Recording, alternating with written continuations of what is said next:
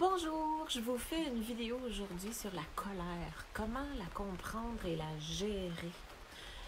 En cette belle journée de pluie, je pourrais la comparer à ça d'ailleurs, la colère. Que c'est quelque chose qui a besoin d'exister, c'est quelque chose qui a besoin d'être là, qui a besoin de passer, mais quand que on la contient, quand on la retient, quand on ne veut pas lui laisser libre cours, hein, l'émotion c'est comme de l'eau, hein, c'est exactement ça. Quand on ne veut pas du tout rien savoir, ben ça, à un moment donné, ça finit par faire des ouragans, ça finit par faire des tourbillons, ça finit par nous emporter dans quelque chose de vraiment inconfortable. La colère, la colère, mon Dieu, c'est quelque chose que je connais tellement pour l'avoir vécu, pour l'avoir subi, pour l'avoir porté, porté, même la rage, la rage, pendant tellement, tellement, tellement d'années, je pourrais vous en parler tellement de la colère. En fait, ce que j'ai fini par comprendre de la colère, c'est que c'est un allié. Et que c'est quelque chose de sain. Si, justement, on s'en sert pas, on la revire pas contre l'autre, contre les autres ou contre soi. La colère, ça sert à, à s'affirmer. Ça sert à, à, donner la force de, de, pouvoir prendre position et de, de s'assumer. Mais quand c'est non conscient, c'est en réaction. Et quand c'est en réaction, on le projette soit contre les autres, soit on le retourne contre nous. Et là, ça devient extrêmement souffrant, ça devient extrêmement violent. Je parlais même de rage. OK? Avec la violence, la violence physique qui découle de l'agressivité, de la rage, de la colère, c'est une façon de s'affirmer. En fait, là, ce qui se cache en arrière de ça, parce que c'est toujours la première émotion qui apparaît quand on est, quand on est déclenché dans une souffrance, quand on est déclenché dans une blessure, c'est la première émotion à apparaître. Et si on n'en prend pas conscience, ce qui se passe, c'est qu'on la projette. Et on la rejette contre les autres ou on va la rejeter contre soi-même. Moi, j'ai fait ça beaucoup contre moi parce que je l'ai reçu énormément quand j'étais jeune et j'ai pris la décision que ce n'était pas quelque chose que je voulais faire vivre aux autres. Mais c'est quelque chose que, qui était tellement intense, tellement puissant. J'ai porté cette puissance-là tellement d'années à l'intérieur de moi que je ne savais plus quoi en faire, que j'avais l'impression d'être un presto sur le point d'exploser et que ça m'aurait pris pas grand-chose pour que je puisse tuer. Tellement que c'était puissant, tellement que c'était intense. Je peux tout à fait comprendre mes agresseurs, de la colère qu'ils portaient, que c'était non conscient en réaction et que c'était pas visé contre moi, mais c'était pour eux. C'est ça qu'il y a à comprendre. En fait, la colère, elle appartient à celui qui la porte. C'est la réaction face à une blessure déclenchée. Et c'est très important d'en prendre conscience. Maintenant, qu'est-ce qu'on fait avec ça? Une fois qu'on en a pris conscience, comment est-ce que je peux m'en libérer? En fait, la colère, comme n'importe quelle émotion, elle demande à avoir sa place. Elle a besoin d'être vécue. C'est-à-dire que si vous vivez de la colère, pour la vivre sainement, il faut que ça passe, faut que ça dégage.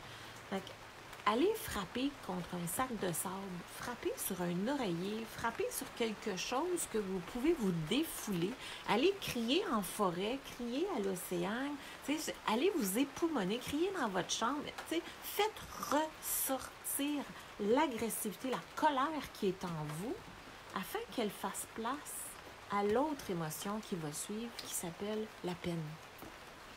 C'est les deux premières émotions qui sont toujours présentes. C'est toujours la colère qui est en première réaction lorsqu'on est déclenché puissamment dans une blessure. Ensuite, quand la colère a eu sa place, quand j'y ai fait de l'espace, hein, sauf que si je la fais en réaction. Si ma colère, je la projette sur l'autre, hein, si j'ai pas conscience de ce que je fais, je la projette sur l'autre, et là, je prends domination sur l'autre personne. Qu'est-ce qui va se passer après que avoir eu sa place, la colère? C'est que je vais avoir honte de moi. Je vais avoir, je vais être mal, je vais vivre mal avec moi-même. Hein? ça, c'est très dur à gérer, c'est très dur à vivre parce que non seulement c'était une réaction face à une souffrance intense, mais en plus d'avoir réagi je porte une autre blessure qui est la culpabilité, la honte, euh, pas fier de soi. Et là, on veut se cacher. Donc, on revient dans un, mode inférieur. C'est pas soulageant. donc, ce n'est pas la façon de vous en soulager. Comme j'ai dit, laissez libre cours et laissez place à la peine. Et suite à la peine, parce que la peine, il y a autre chose, il y a d'autres émotions qui sont cachées en arrière de ça. Et c'est ces émotions-là qui sont très importantes d'aller cibler. Il y a non seulement des émotions, mais il y a des peurs. Et finalement, on va comprendre qu'il y a des besoins qui sont cachés en arrière de ça. C'est pour ça que c'est très important de faire ce tableau-là et d'en prendre conscience et de laisser la place que la peur, pas la peur, mais que la colère a le besoin pour qu'elle vive avec, de nous donner cette puissance d'assurance-là qu'on a besoin. Mais faites-les sainement, faites-les de façon responsable. C'est juste ça. Parce qu'on a peur de la colère, on a peur de la rage des autres et même de notre colère qu'on peut porter. Mais en fait, ce qu'on a peur, c'est de perdre des pédales, c'est d'être en réaction, de ne pas avoir conscience, de réagir. Mettez plus de conscience dans ce que vous faites, dans vos réactions. Vous avez ce choix-là. Vous l'avez, ce choix-là. Et plus tard aujourd'hui, euh, je vais vous faire euh, mon expérience en conscience d'aujourd'hui. Euh, je vais sûrement vous la faire en vidéo. pour ceux qui ne sont pas encore sur mon groupe, je vous invite d'aller adhérer au groupe de Vivre en pleine conscience, de vivre en conscience, les expériences en conscience, quelque chose comme ça. Okay, cherchez ce groupe-là, venez adhérer au groupe.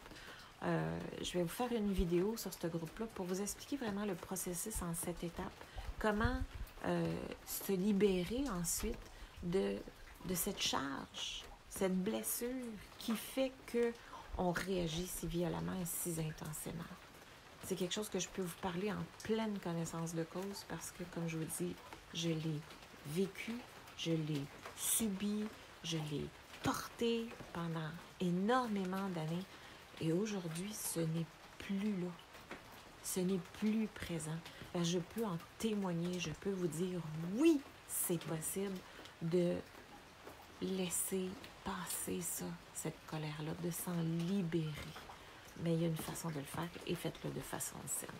Sur ce, je vous dis à la prochaine vidéo. Venez me rejoindre dans le groupe pour l'expérience en conscience et euh, je vais vous partager justement le processus en cette étape. Tiens, avec une expérience sur la colère justement.